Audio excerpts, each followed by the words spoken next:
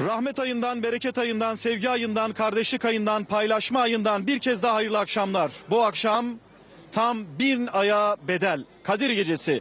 İnşallah bu akşam Kadir Gecesi öyle niyetlendik, öyle toplandık, oruçlarımızı öyle açtık, sahurlarımıza öyle kalkacağız. Sabaha kadar ibadetlerimizi o niyetle yapacağız. Güzel bir mekandayız, Gebze'deyiz. Çoban Mustafa Paşa tarihi bir cami, etrafında külliye ve Gebze meydanında muhteşem bir atmosfer var. İnsanlar yüzlerinden adeta nur akıyor, tebessüm akıyor, mutluluk akıyor. Tabii ki bu mutlulukta da en büyük pay sahibi şüphesiz iki dönemdir Gebze'ye hizmet eden, aldığı bayrağı daha da yukarıya taşıyan ve taşıyacağının sözünü veren değerli belediye başkanımız Adnan Köşker'le birlikteyiz. Sayın Başkanım öncelikle Kadir Geceniz mübarek olsun.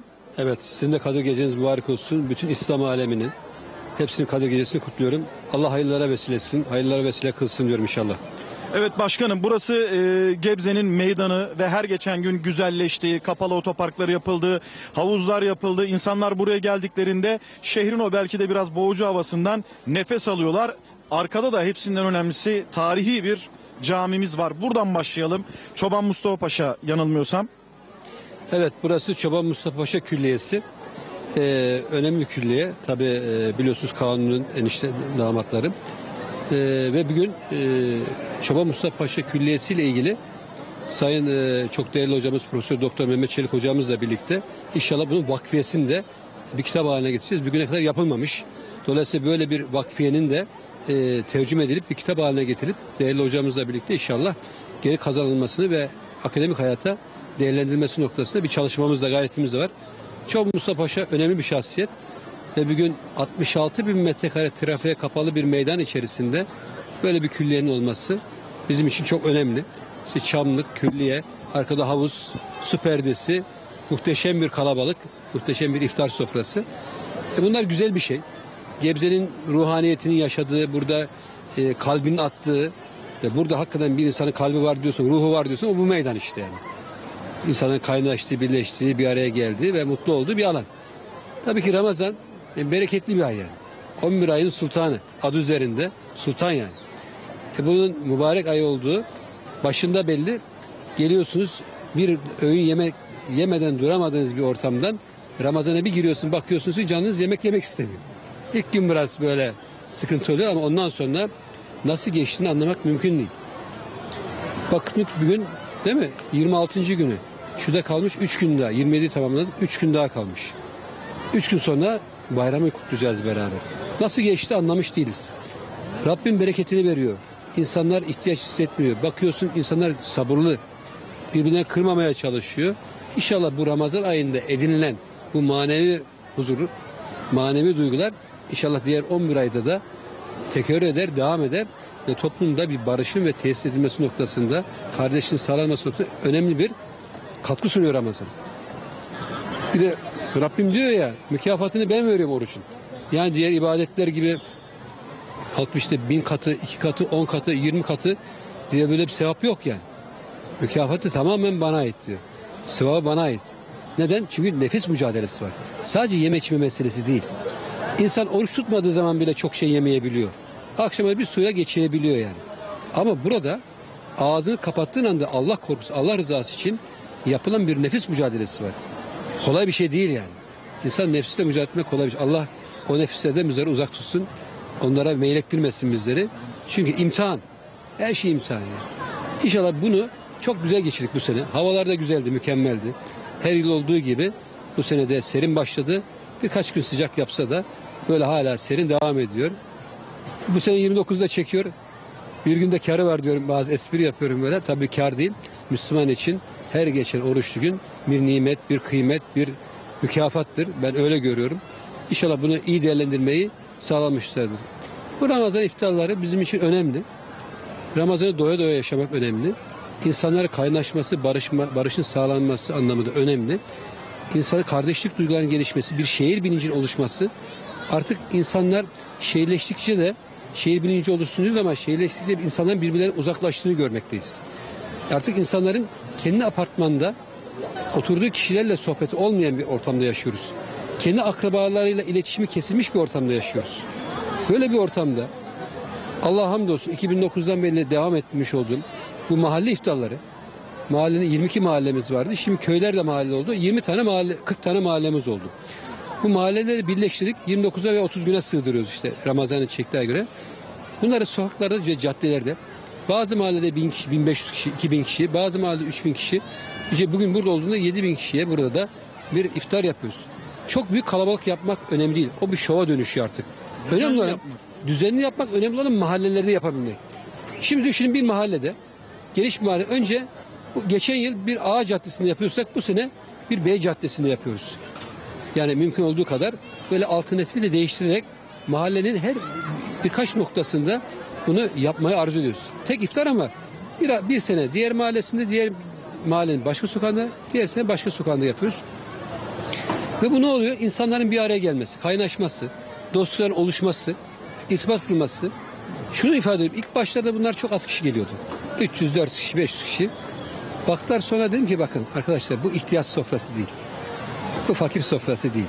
Hem fakir sofrası hem zengin sofrası. Bu dostluk sofrası, bereket sofrası, rahmet sofrası. Mağfiret sofrası, bu Ramazan sofrası. Barış sofrası. Böyle algılayacaksınız bu işi.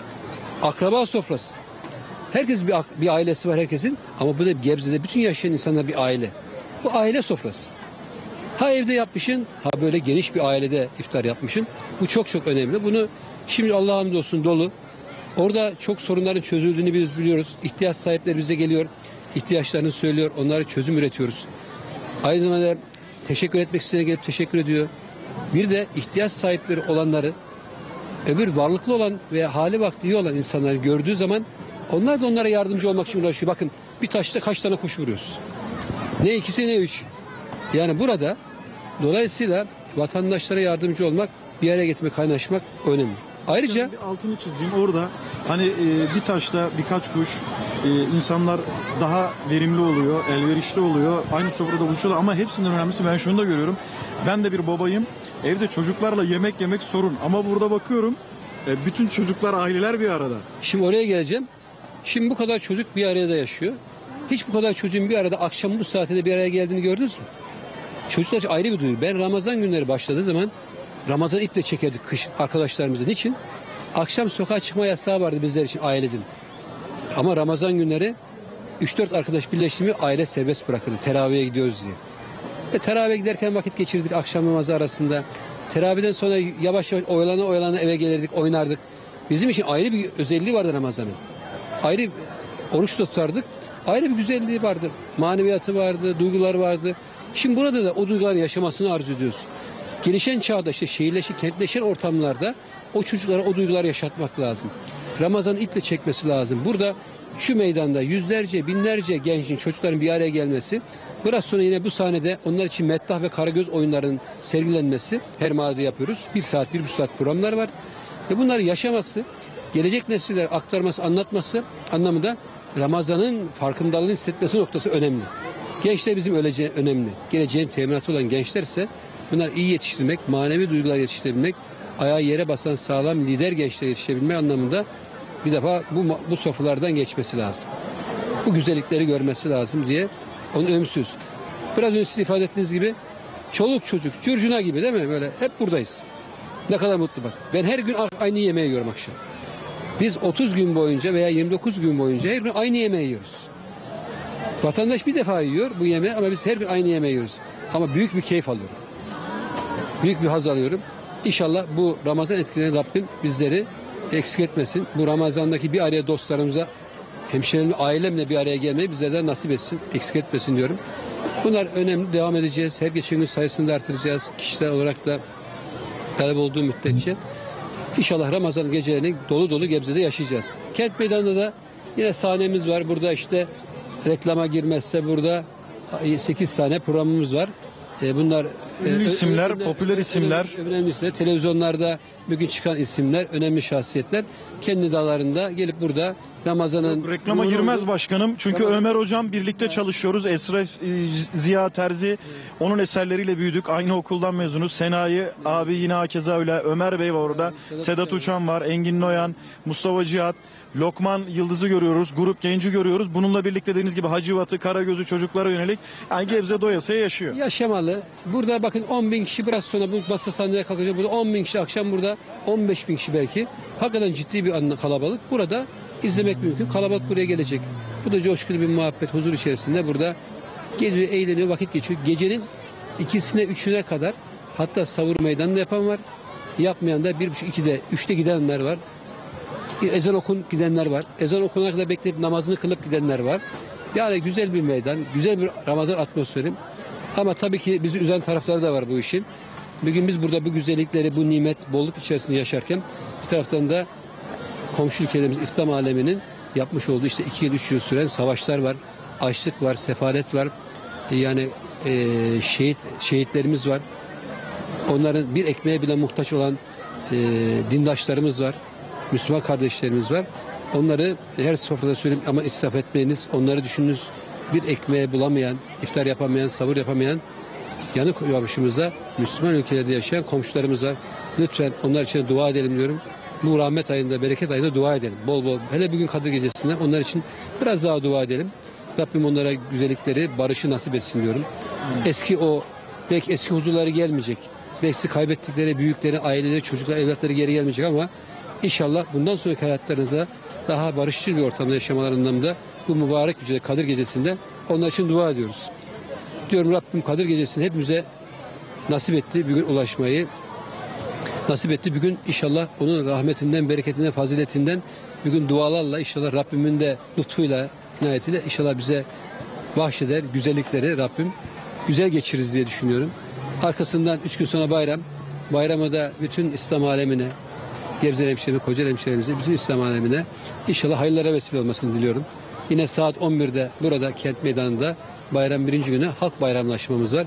Bütün Gebzeli hemşehrilerimiz de burada bütün misafirlerimizi de kabul ediyoruz. Burada bayramlaşmaya bekliyoruz inşallah.